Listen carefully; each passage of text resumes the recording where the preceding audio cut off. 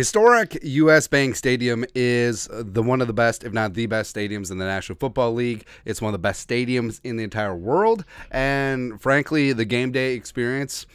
It's something beautiful, man. Even though us personally, we don't get to a lot of games because we're, we're, here. You want us on this wall. You need us on this wall uh, in studio, uh, waiting to do up the, the winners and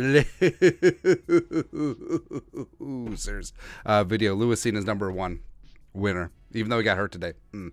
Uh, but uh, the game day atmosphere, the bum bum Skol chant that we stole from Iceland.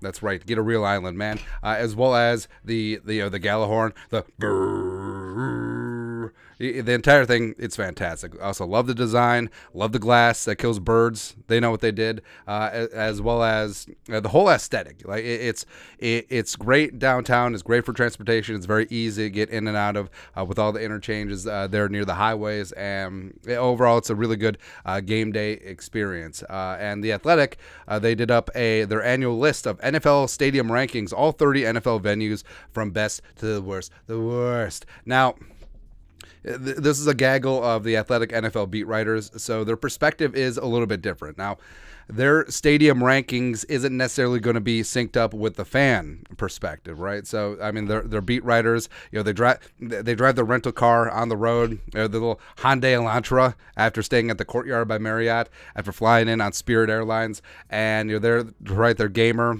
And if you give them some good free food uh, and their their press box seat is uh, is comfortable, I mean, they'll, they'll be good to go. I mean, but th- they did a top five, bottom five list, and looky, looky, here comes Sookie. Lo and behold, U.S. Bank Stadium, numero uno for the second year in a row. Gotta love it, man. Also, what's impressive is that new stadiums, uh, you know, like SoFi, like Allegiant, have opened up, and U.S. Bank Stadium just mm, still number one. That's right. Uh, Vikings uh, seating capacity 66k. Uh, Google review 4.7 stars. who, who, who, who gives it one star? Like Packers fans? I don't know. Uh, this wasn't even close. Half of the voters placed it number one in their rankings. Uh, it also topped our list three years ago. Although it's an indoor venue, half of the roof is transparent, and the wall behind the end zone facing downtown Minneapolis is glass, allowing a considerable amount of natural light. Oh, it's like oh, okay, so it's like it's like a Zillow listing. So lots of natural light and lots of room to entertain. It opened in 2016, making it one of the league's newest stadiums. It also helps the Vikings do an excellent job with their pregame and in-game presentation. Also, uh, yeah, the game day ops, you know, especially when it comes to the media, like, they're very good. Uh, the spread is always great, and uh, overall, like the information that is relayed to the beat writers is uh, pretty top notch, as well as um, yeah, the fact that the Vikings recently hosted a Super Bowl uh, within the memory of a lot of the beat writers. I mean, that certainly is baked in, uh, even though a lot of them had to stand outside waiting for credentials, which is kind of funny. But uh, you know, th- that certainly does factor in. Uh, so you know, the Vikings at U.S. Bank Stadium clocking up in there now. The only way to make this better is if they had uh, Mercedes-Benz Stadium uh, food prices. I mean, that, that's something's great about the Falcons. Also, do you know that uh, beer at MBS is five bucks? I mean, I, I that's really the only way to be able to take in a Falcons game is you have to stuff yourself to the gills as well as be blackout drunk. That's the only way Hot Atlanta is getting down with the Falcons especially with Desmond Ridder, even though Desmond Ridder's my guy. Mm.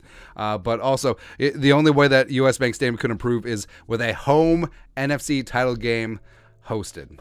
That's right. With the doors open, by the way. Yeah, you remember the stadium open? And the whole thing was like, well, our advantage is that we can open up the doors and the cold will come in. They haven't done it. They, they have never opened up those damn doors. I'm surprised that Zimmer didn't do it. Uh, Kevin O'Connell probably won't ever do it, but I don't know. Know, like opening the doors in the cold weather. Yes, getting uh, advance notice to all the fans, uh, you know, coming in in January uh, that it's going to be cold. But hey, they're also probably going to be wearing their coats unless they took the Skyway over or what, whatever, whatever, whatever. Uh, yeah. Hey, if you're cold, buy a team jacket for 200 bucks or something like that.